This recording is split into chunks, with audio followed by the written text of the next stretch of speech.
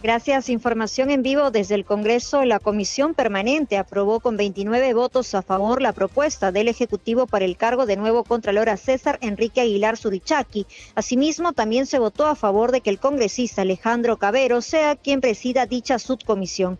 Al respecto, el congresista de la bancada socialista, Jaime Quito, indicó que ve con preocupación la propuesta enviada por el gobierno.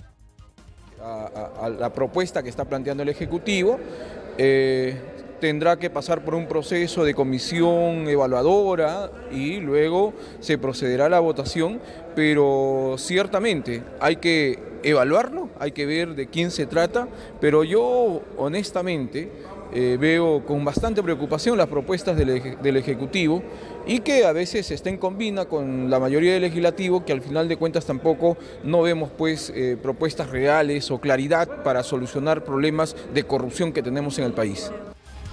Por otro lado, su colega de bancada, Alex Flores, recalcó que se necesita una persona idónea para el cargo máximo de la Contraloría, con miras a luchar contra la corrupción institucionalizada.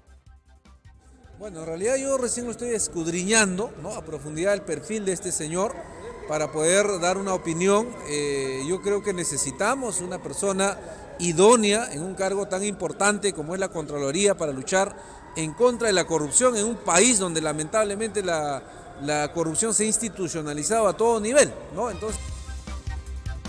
La comisión permanente tiene una semana para preparar el informe con respecto a la propuesta al cargo de nuevo Contralor. Seguidamente, el miércoles 24, dicho informe pasaría a la comisión permanente, quienes evaluarían si aprueban o no dicho perfil. Información para Exitosa en Lima 95.5, la voz que integra el Perú.